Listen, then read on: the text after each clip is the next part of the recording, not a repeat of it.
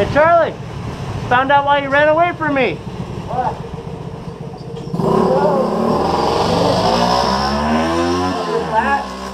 It's like flat, flat.